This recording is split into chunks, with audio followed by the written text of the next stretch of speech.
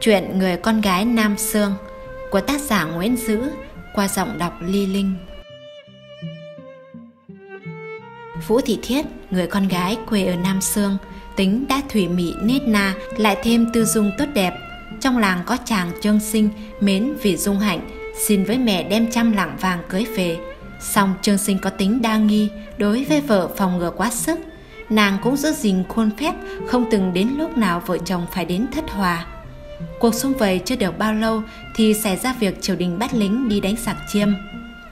Trường tuy con nhà hào phú nhưng không có học nên phải ghi trong số lính đi vào loại đầu. Buổi ra đi, mẹ chàng có dặn rằng Này con phải tạm ra tòng quân, xa lìa dưới gối. Tuy hội công sanh từ xưa ít gặp, nhưng trong chỗ binh cách phải biết giữ mình làm trọng. Gặp khó nên lui, lường sức mà tiến đừng nên tham miếng mùi thơm để lỡ mắc vào cảm bẫy. Quan cao tước lớn nhường để người ta, có như thế mẹ ở nhà mới khỏi lo lắng vì con được. Chàng quỳ xuống đất vâng lời dạy, nàng rót chén rượu đầy tiễn chồng mà rằng, chàng đi chuyến này, thiếp chẳng dám mong đeo được ấn phong hầu. Mặc áo gấm trở về quê cũ, chỉ xin ngày về mang theo được hai chữ bình yên, thế là đủ rồi. Chị e việc quân khó liệu thế giặc khôn lường, giặc cuồng còn lần lút, quân triều còn gian lao. Rồi thế trẻ tre chưa có, mà mùa xưa chín quá kỳ, khiến cho tiện thiếp băn khoăn, mẹ hiền lo lắng, nhìn trăng soi thành cũ, lại sửa soạn áo rét gửi người ải xa. Chồng liễu dù bài hoang, cũng sợ không có cánh hồng bay bổng. Nàng nói đến đây, mọi người đều ứa hai hàng lệ, rồi đó tiễn biệt vừa tàn, áo chàng đành sứt nước mắt cảnh vật vẫn còn như cũ, mà lòng người đã nhuộm mối tình, muôn dặm quan san. Bấy giờ, nàng đương có mang, sau khi xa chồng, vừa đầy tuần thì sinh ra một đứa con trai, đặt tên là đàn ngày qua tháng lại, thoát đã nửa năm, mỗi khi thấy bướm lượn đầy vườn, mây che kín núi, thì nỗi buồn góc bể chân trời không thể nào ngăn được. Bà mẹ cũng vì nhớ con mà dần sinh ốm, nàng hết sức thuốc thang, lễ bế thần Phật và lấy lời ngọt ngào khôn khéo khuyên lơn. Song bệnh tình mỗi ngày một trầm trọng, bà biết không sống được, bèn chối lại với nàng rằng Ngắn dài có số, tươi héo bởi trời, mẹ không phải không muốn đợi chồng con về, mà không gắng ăn miếng cơm miếng cháo, đặng cùng vui sum họp. Xong làm tham vô cùng mà vận trời khó tránh, nước hết chuông rền, số cùng khí kiệt, một tấm thân tàn, một tấm thân tàn nguy trong sớm tối. Việc sống chết không phải phiền đến con. Chồng con nơi xa xôi không biết sống chết thế nào, không thể về đền ơn được. Sau này trời xét lòng lành, ban cho phúc đức, giống dòng tươi tốt, con cháu đống đàn, xanh kia quyết chẳng phụ con, cũng như con đã chẳng phụ mẹ. Bà cụ nói xong thì mất nàng hết lời thương xót, phạm việc ma chay tế lễ, lo liệu như đối với cha mẹ đẻ của mình. Qua năm sau rằng ngoan cố chịu trói, việc quân kết thúc, trương sinh về tới nhà được biết mẹ qua đời. Con vừa mới học nói, chàng hỏi mồ mẹ, rồi bế đứa con nhỏ đi thăm. Đứa trẻ không chịu, ra đến đồng nó quấy khóc, sinh dỗ dành. Nín đi con, đừng khóc, cha về, bà đã mất, lòng cha buồn khổ lắm rồi. Đứa con ngây thơ nói ô hay, Thế ra ông cũng là cha tôi ư. Ông lại biết nói, chứ không như cha tôi trước kia chỉ nín thiên thít. Chàng ngạc nhiên gạn hỏi, Đứa con nhỏ nói, Trước đây thường có một người đàn ông, Đêm nào cũng đến, Mẹ đàn đi cũng đi, Mẹ đàn ngồi cũng ngồi, Nhưng chẳng bao giờ bế đàn cả. Tiếng chàng hay ghen, Nghe con nói vậy, Đinh Ninh là vợ hư, Mối nghi ngờ ngày càng sâu, Không có gì gỡ ra được. Về đến nhà, chàng la um lên cho hà giận Vợ chàng khóc mà rằng, thiếp vốn còn kẻ khóc, được nương tựa nhà giàu, sum họp chưa thỏa tình chăn gối, chia phôi vì động việc lựa binh, cách biệt ba năm giữ gìn một tiết. Tô son điểm phấn, từng đã nguôi lòng, ngõ liễu tưởng hoa chưa hề bén gót, đâu có sự mất nét hư thân như lời chàng nói. Dám xin bày tỏ để cởi mối nghi ngờ, mong chàng đừng một mực nghi oan cho thiếp. Chàng vẫn không tin nhưng nàng hỏi chuyện kia do ai nói ra thì lại giấu không kể lời con nói chỉ lấy chuyện bóng gió này nọ mà mắng nhức nàng và đánh đuổi đi họ hàng làng xóm bênh vực và biện bạch cho nàng cũng chẳng ăn thua gì cả nàng bất đắc dĩ nói Thiếp sở dĩ nâng tựa vào chàng vì có cái thú vui nghi xa nghi thất. Này đã bình rơi châm gãy, mây tạnh mưa tan, sen rũ trong ao, liễu tàn trước gió, khóc tuyết bông hoa rụng cuống. Kêu xuân cái én lìa đàn, nước thẳm buồm xa, đâu còn có thể lại lên núi vọng phu kia nữa.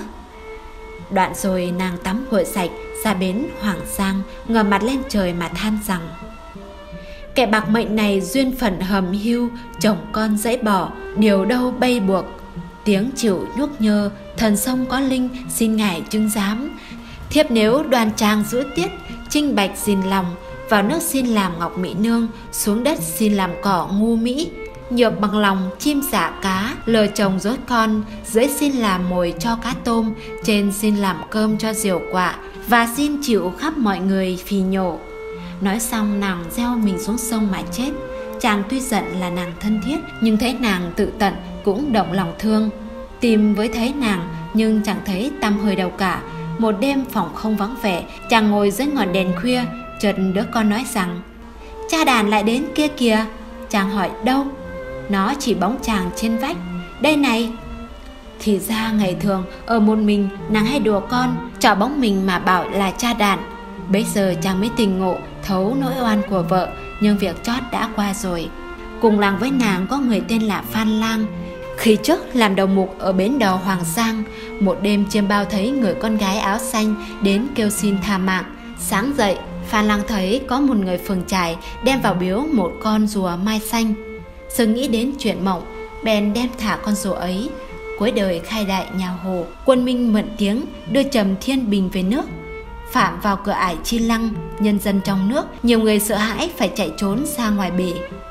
Không may đám thuyền đều chết đuối cả. Thầy Phài Lăng giạt vào một cái động rùa ở hải đảo, có một người đàn bà là Linh Phi trông thấy nói rằng đây là vị ân nhân cứu sống ta thuở xưa. Linh Phi bèn lấy khăn dầu mà lau, lấy thuốc thần mà đổ.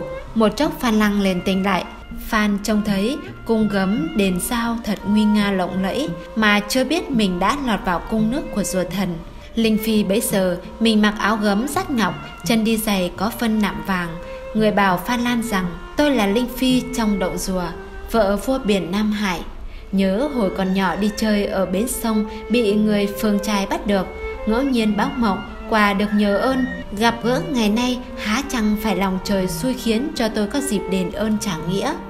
Phi bèn đặt yếm ở gác chiêu dương để thiết đãi phan lang. Dự tiệc hôm ấy có vô số những mỹ nhân quần áo thướt tha mái tóc búi xễ.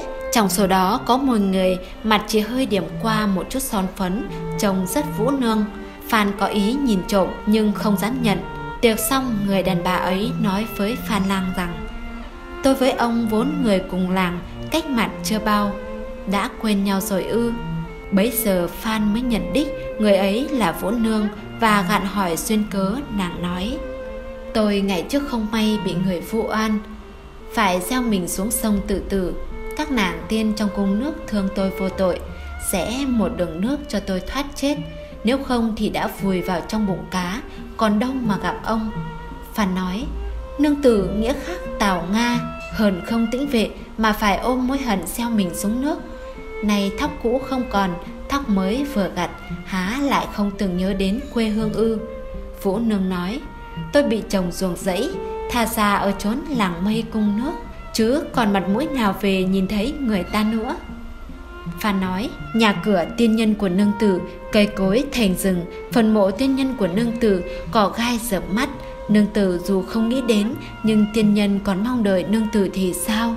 Nghe đến đây Vũ nương ứa nước mắt khóc Rồi quả quyết đổi giọng mà rằng Có lẽ không thể gửi hình ẩn bóng ở đây được mãi. Để mang tiếng xấu xa Phải chăng ngựa hồ gầm gió bắc Chim Việt đậu cành nam? Cản vì nỗi ấy tôi tất phải tìm về có ngày. Hôm sau Linh Phi lấy một cái túi bằng lụa tía đựng 10 hạt minh châu sai sứ giả xính hỗn đưa Phan ra khỏi nước. Vũ Nương nhân đó cũng đưa gửi một chiếc hoa vàng mà dặn. Nhớ nói hồ với chàng Trương, nếu còn nhớ chút tình xương nghĩ cũ, xin lập một đàn giải oan ở bến sông, đốt cây đèn thần chiêu xuống nước, tôi sẽ trở về. Lúc đến nhà, Phan đem chuyện kể lại với họ Trương. Ban đầu Trương không tin, nhưng khi nhận được chiếc hoa vàng, chàng mới sợ hãi mà nói đây quả là vật dùng mà vợ tôi mang lúc ra đi. Chàng bèn theo lời lập một đàn tràng ba ngày đêm ở bến Hoàng Giang, rồi quả thấy Vũ Nương ngồi trên một chiếc kiệu hoa đứng ở giữa sông. Theo sau có đến 50 chiếc xe cờ tán, võng lọng, rực rỡ đầy sông, lúc ẩn lúc hiện. Chàng vội gọi, nàng vẫn ở giữa dòng mà nói vọng vào. Thiếp cảm ơn đức của Linh Phi, đã thề sống chết cũng không bỏ, đa tạ tình chàng, thiếp chẳng thể trở về nhân gian được nữa. Rồi trong chốc lát, bóng nàng loang loáng mờ nhạt dần mà biến đi mất.